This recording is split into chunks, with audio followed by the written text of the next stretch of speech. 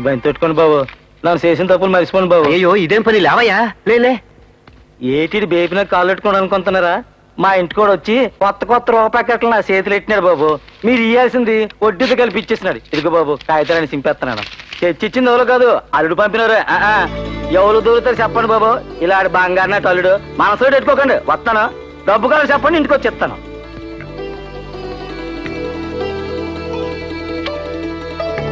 చూసావా నీ బాబాయ్ లాంటివాడు? ఎలా ఉంది నా సెలక్షన్ ఎవరినైనా సరే చూసిన వెంటనే ఇట్టే కనిపెట్టేస్తాను. వాడు చెడ్డవాడా మంచివాడా అని. అదేమిటో నాకు ఇట్టే తెలిసిపోతుంది. నీకు కూడా ఇలాగే ఓ మంచి మొగుడిని చూశాననుకో. నేను డబ్బులు అదృష్టవంతుడు అవుతాను కదూ? కనిపెట్టేస్తా. అదే నాకున్న గిఫ్ట్ సార్ టెలిఫోన్ డిపార్ట్మెంట్. మీ ఇంటికి టెలిఫోన్ కనెక్షన్ ఇవ్వడానికి వచ్చాం సార్. నేను అసలు అప్లై చేయలేదు. ఎలా వచ్చింది? ఆ సంగతి ఏం తెలియదు సార్. మీ ఇంటికి కనెక్షన్ ఇవ్వమని ఆర్డర్ వచ్చింది. అవునా? హలో టెలిఫోన్ డిపార్ట్మెంటా? ఆ కనెక్షన్ వచ్చేసింది. ఆ కనెక్షన్ నుంచే మాట్లాడుతున్నాను. ఎలా ఉన్నారు మామగారు? ఎవరు మా అల్లుడు గారా? ఢిల్లీ నుంచా? యమున్ లేదా? తను కంప్యూటర్ క్లాస్కి వెళ్ళింది.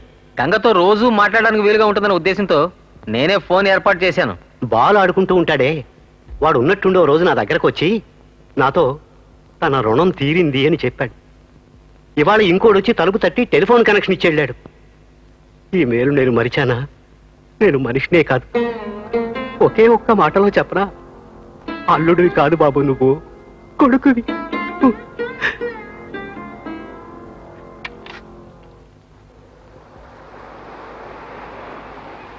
ఆరు నెలలు ఉంటుందా శివ? ఈ ప్రశ్న ఇంకా అడగలేదేంటా అని అనుకుంటున్నాను. ఏమిటో నేను ఇంకా చెప్పలేదే. ఫ్యాక్టరీలో పనికి ఆరు నెలలు అయిందనే నువ్వు అడుగుతుంది? అవును. ఫ్యాక్టరీలో ఏమంటున్నారు? మేనేజ్మెంట్కి నా మీద కోపంగా ఉంది. సరే వస్తావా? ఇంకొకసారి సముద్రం దాకా వెళ్ళొద్దాం. నేను సీరియస్గా మాట్లాడుతుంటే. ఓకే. ఫ్యాక్టరీలో వర్కర్స్ తరఫున మాట్లాడాను కదా అందుకే నన్ను అప్పుడు రా ఇప్పుడు రా అని తిప్పుకుంటున్నారు. కావాలని అలా చేస్తున్నారనుకుంటే నువ్వు ఇంకో జాబ్ ట్రై చేయొచ్చుగా?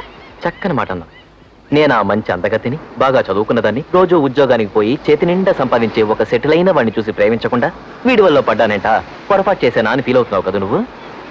ఇష్టం వచ్చినట్టు మాట్లాడుకో. మనసు తట్టుకోలేదు. ఇంతవరకు మన మ్యాటర్ మీ నాన్నతో చెప్పావు నువ్వు?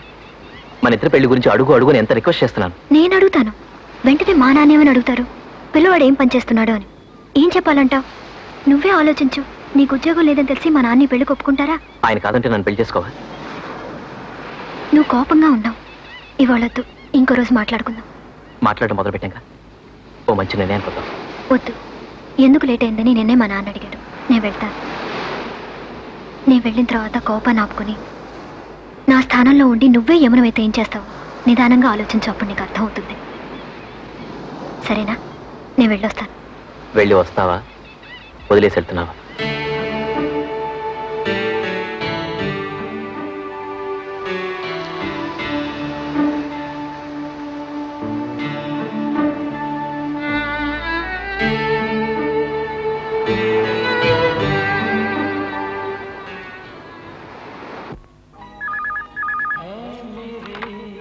హలో.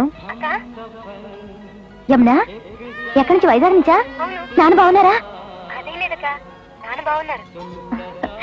నీ గొంతు వినగానే ఎంత ఆనందంగా ఉందో తెలుసా?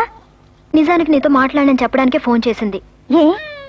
మన ఇంటికి ఫోన్ వచ్చి వారం పైన అయింది నువ్వే ఫోన్ చేస్తావు ఫోన్ చేస్తా అని ప్రతి నిమిషం నాదే ఉందిలే. మా నాన్న ఎంత బాధపడ్డారో తెలుసా? ఏమిటి నువ్వు అనేది? నాకేం అర్థం కావడల్లా మన ఇంటికి ఫోన్ వచ్చిందా? ఎప్పుడు? ఏమీ అరగనట్టు అడక్కు. ఫోన్ అరేంజ్ చేసింది మీ ఆయనే అక్క.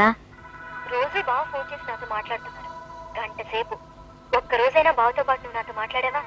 నిన్ను లైన్లోకి పిలవమని రోజు బావని అడుగుదాం అనుకుంటాను. కావాలనే అడగలేదు. నీ అంతటి నువ్వే ఫోన్ చేస్తావని ఎదురు చూస్తున్నా వారం రోజుల నుంచి. ఏక ఒక్కసారైనా నాతో మాట్లాడాలనిపించలే?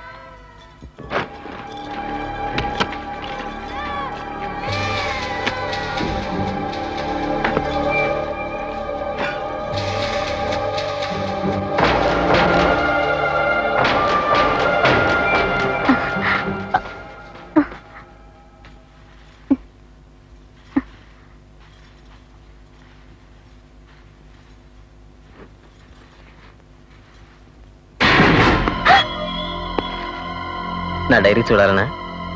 ఏం తెలుసుకోవాలని? నేనే ఓ ముఖ్యమైన విషయం నీతో చెప్పాలనుకున్నాను. బయటికి వెళ్దాం